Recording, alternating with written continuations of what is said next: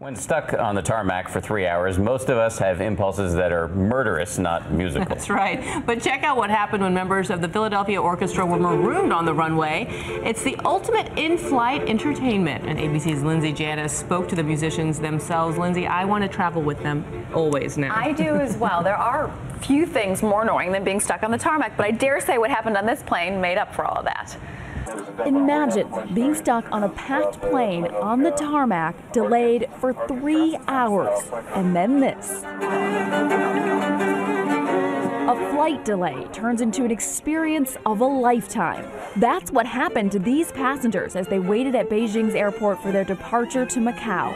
Our musicians would like to offer you a musical surprise. Members of the Philadelphia Orchestra began making musical magic as awestruck passengers filmed it all on their cell phones.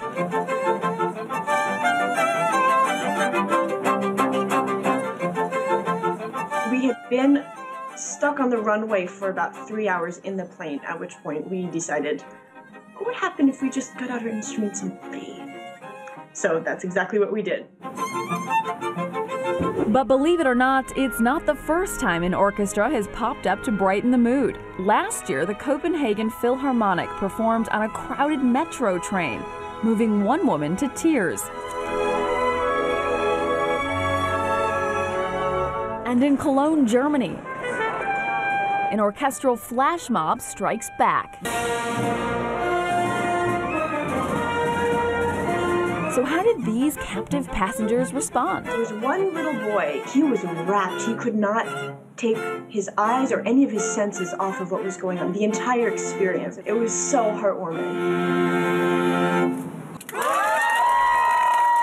The Philadelphia Orchestra started playing after a three hour wait. There was actually another four hour delay after that. Ouch. So, Dan, do Yes. you know what piece of music they were playing? Um, Dvorak? Oh, you saw it. You saw it in the notes. I you? Uh, He's right. I, I cheated. Do you even know who I Dvorak was before this morning? Dvorak, yeah, my he's, cheat uh, sheet. he played with the 67 Mets, and That's then right. he wrote that Yeah, piece of music, right? right. He was just Googling that Yeah, uh, a second ago. Yeah. Thanks.